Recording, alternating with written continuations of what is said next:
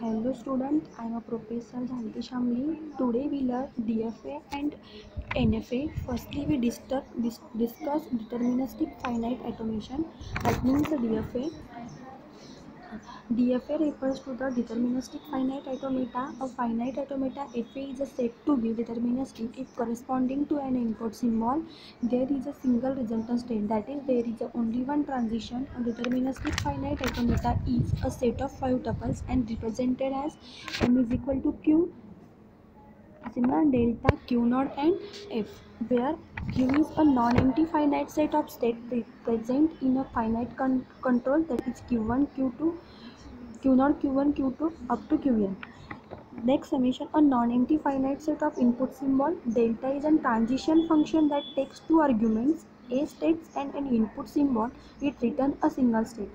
Q0 it is a starting state one of the state in q. If if it is a non-empty set of the final state accepting the state from the set belonging to q next is non-deterministic finite automa- automation NFA. NFA refers to non-deterministic finite automation. A finite automata FA is said to be deterministic if there is a more than one possible transition from the one state on the same input symbol. A non-deterministic finite automata is also set of the five tuples and represented as m is equal to q summation delta q naught and f.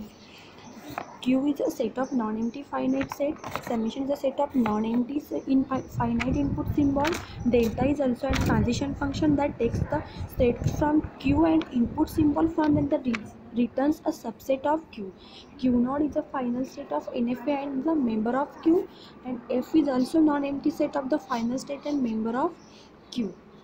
Next is the difference between DFA and NFA.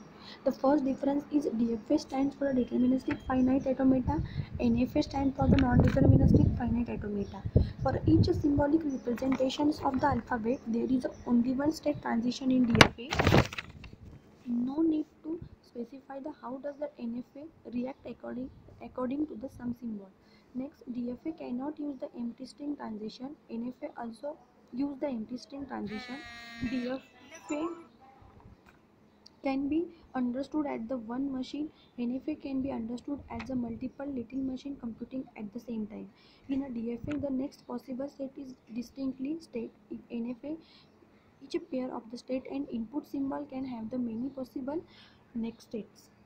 Next is DFA is a more difficult to construct. NFA is easier to construct. DFA re- reject the string in case terminate in the state that is different from the accepting state. NFA reject the string in the event of the branches time or refusing the string. Time needed for existing an input string is less. Time needed for existing an in- uh, string is more. All DFA are a NFA, but not all NFA are a DFA. DFA require a more spaces. NFA require a less spaces than DFA. Thank you. Watch, thank you for watching my video.